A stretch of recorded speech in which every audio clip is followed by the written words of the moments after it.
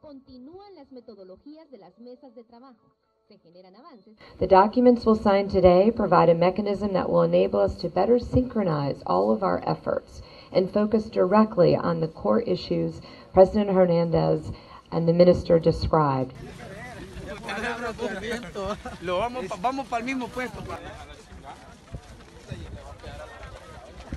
Niños en el camino, si tenemos personas muertas, si tenemos personas desaparecidas, a consecuencia